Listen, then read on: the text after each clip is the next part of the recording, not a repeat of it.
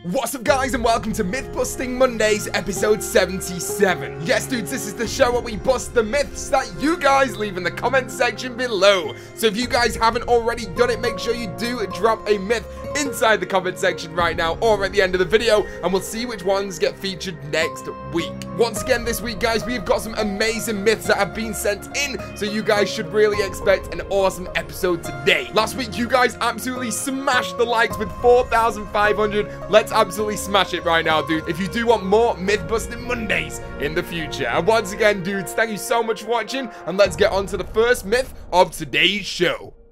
So the first myth of today's show, dudes, has been sent in by Alka. And he says, myth. On Buried, can you get trapped in Leroy's cage? Now, if you guys don't know, On Buried, it was the third map pack from Black Ops 2, and there was also this cool, awesome character called Leroy that was inside the map as well. Now, this guy goes around the map and helps you out with certain things, like unlocking doors for you and also opening up the perk location. But this guy also runs back to his cage and locks himself in, and you have to go and find yourself a new key to be able to actually get him out if you ever accidentally shoot him while you're trying to shoot zombies. So it can get super, super frustrating, but if we take this method into consideration, is there a chance that we're going to be able to lock ourselves into his cage at the same time? Let's check it out, dudes. So right now, guys, we are on the map buried and we are gonna do this myth right now. So let's shoot Leroy and he's gonna be heading back to the cage right now as well. Now once we get into the cage with Leroy he won't shut the door. The game doesn't allow him to do that unless you exit the cage. But the way we're gonna get around this is by placing down the time bomb inside of the cage that is a tactical grenade inside of buried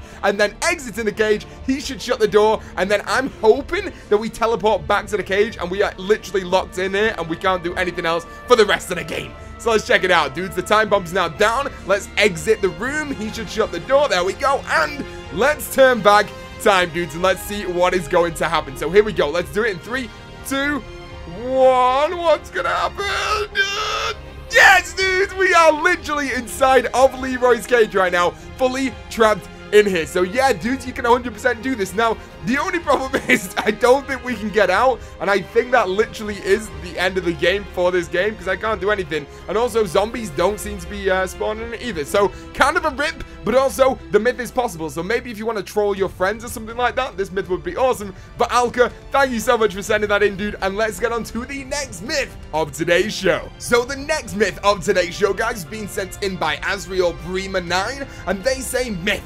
In Origins, if you release the Maxis drone and down yourself without quick revive, will Maxis keep the game from ending by reviving you, or will it end. And it's got a whopping 61 likes, dude. So thank you so much for sending that in. And we know that on Shadows of Evil, we can do this with the Civil Protector. So why not on Origins? Let's check it out, dudes. So we're going to make this super, super simple for ourselves. We're going to release the Maxis drone and cook a grenade. As soon as we cook the grenade and it blows up, we should go down and we'll find out will Maxis revive us because we don't have quick revive right now. So, dudes, are you ready? Let's check it out. Maxis drone is going up. Let's hold down our grenade. Let's see what happens. One, two, three, four. And no, dudes, Maxis drone will not revive you if you don't have quick revive. The game over sign will come up and you'll end up being forced out of the game. But anyway, thank you so much for sending that myth in. And we're going to jump straight to the next one right now, which is being sent in by Ethan Plays. And he says, myth, when you put the shield down in the robot's head, can you use it to guard you from leaving the head? Wow, dude, this is going to be interesting. So this myth also takes place on Origins. And you guys know that when you go into the robots, you get a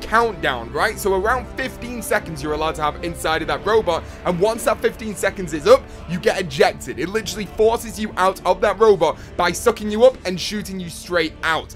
But what happens if we place the shield down inside of the robot's head and we sit behind the shield? Can we use it as protection and will it stop us from being forced out of the robot's head? Let's check it out, dudes. So once again, guys, we are on Origins and the robot is currently running right towards us. So let's get up these stairs, let's get over to it and let's get inside this robot right about now. Come on, we got this, we got this. Hopefully it's the right foot. Yeah, okay, we're good. Okay, we're inside the robot right now, dudes. And we've got our shield with us as well. So what we're going to do is we are going to go to the middle of the robot or as far back as we can get it. And we are going to place that shield down. Now, oh, dude, it's red. So let's try and take it into the middle. Are we good? Are we good? Okay, we're good there. Right in the center. That is literally as far forward as we can be. Now, if we stand in front of the shield right here, will it stop us from ejecting? This is going to be super interesting, dude. So, we have officially got four seconds left. Three, two, one. What's to happen, dudes? What's to happen? Oh no, we went straight through the shield. So I'll replay that again for you guys right now while I'm talking as well. So check it out. We literally went straight through. We no-clipped through the shield. It didn't class it as an object at all that we couldn't pass through. So it's a little bit annoying, but there you go. So no, the shield cannot protect you from exiting that robot, dudes. But that is it for that myth. Let's get on to the next one of today's show, dudes, which has been sent in by egotistical YouTuber. And he says, if you have no weapons on buried, can you write the weapons on the wall? Now, you guys know that on Buried, we have these chalk drawings on the wall that we can go and pick up. Once you pick it up, you get chalk inventory, and then you can go and place it on the wall where we get question marks and literally draw out your own weapon. So to do egotistical YouTubers myth, we're going to have to go and pack a punch both of our weapons and then safely get back to the normal Buried map, pick up one of these chalks, and then go and make it. Let's see if we can actually do it, dudes. So right now, guys, we have officially pack a punch both of our weapons, and I don't have anything in my inventory anymore. Luckily, right now as well, we do have the the booze, so I'm going to be able to give it to Leroy. He'll break down this door and make it super more easy for us to actually enter the room where the chalk drawings are. So, he's going to break that right about now. Boom, there we go. Let's go and pick up. Which one should I get? Let's go for the PDW. Boom, PDW is right there. Let's go make our way over to our final chalk drawing, which is at the top of the saloon. This is the only free space left I've got on the map, and let's go and see if we can do this. Also, yeah, I know it's pretty weird that I've only got Vulture Aid, but it's just because the witches gave it to me, and I haven't had time to buy any other perks. So, here we go, dudes. Let's see if we can draw still. Yes, dudes, there you go. So you can still draw on the wall when you don't have any weapons. And of course, I can still buy the weapon as well, even though I don't have any others. So there you go, egotistical. I don't know why that would help you out in a game at all, but at least you know you can do it, dude. Thank you for sending that in, and let's get on to the next myth of today's show. So the next myth of today's show, guys, is being sent in by Chris Bob, and he says, Myth, on Origins, can you use the regular knife on the white-handed zombies? Now, I've always thought about this, and I've always thought, yo, did we actually need them? Was that upgrade to the punch actually necessary for this Easter egg step? Or are we just using them because we normally get up to this step on like round 15, 16, 17, and the zombies are too difficult to actually knife with a normal knife? I've always thought that, but I've never actually tried it out. So let's go check out this, dudes. So right now, guys, we are on Origins, and we are up to that part of the Easter egg where we get the white-handed zombies coming into the maps. Now, we've also got the Ray Gun Mark II and the MP40, but we do not have our upgraded punch. We have not gone and got the Thunder Fist at all, and we literally just got the normal knife on the map right now. So, let's wait until we get some white-handed zombies spawning into the map, and then we'll just instantly knife them normally and see if this still works. So let's check it out, dudes. Okay, here we go. We have got our first white-handed zombie. Let's check it out.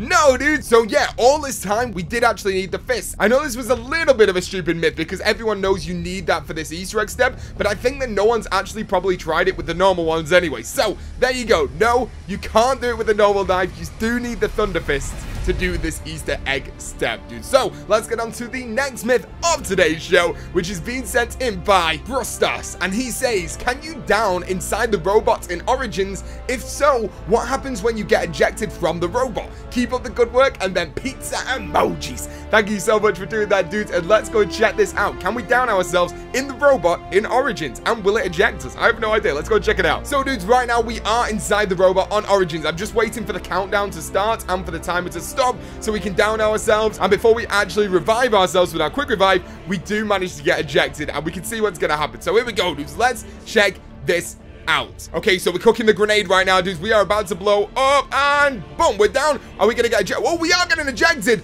And you know what? It looks like we were actually revived as well. Let's just check it out. When we get down here, are we gonna be revived? Yes, dudes. Okay, so you cannot exit the robot while you are downed. It literally revives you very, very quickly. I mean, there's not a lot of sense in this because you can never get down inside the robot unless you do exactly what I just did, which would be completely stupid.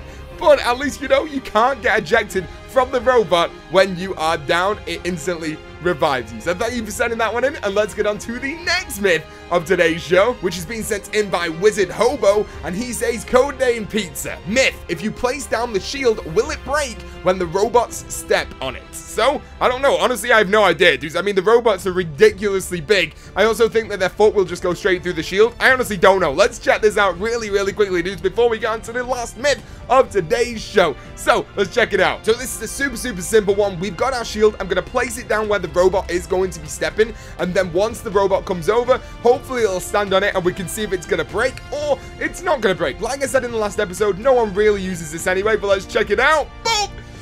The robot's on it and... Uh. There you go. So the shield still exists. And exactly what I was saying before the robot came along, no one uses the shield to place it down on zombies anyway, unless they're doing some kind of weird glitch. But no, there you go, dudes. The shield cannot be broken by the robot in Origins. And let's get on to the final myth of today's show. And the final myth of today's show, dudes, has been sent in by Jacob, and he says, in Black Ops 3, can you kill a Margwa with the summoning key in Revelations? Now, dudes, this is going to be amazing. You guys know that on Revelations, we do get the summoning key for one step of the Easter egg. And in that step, you can have Margwas spawned in as well. So, luckily, me and MrTLexify got into a game, and we're able to do this right now and see if we can use the summoning key to actually kill a Margwa, or just take one of its heads off. I don't know, let's check it out. So here we go, guys. We are currently on Revelations, and we do have that summoning key as well. We've also got a Margwa inside of the starting area right now as well. So, here we go, dudes. Let's see if we can kill a Margwa with the summoning key. Are you ready? Three, two, one. No, dude, his head might just not have been open. So let's check again. No.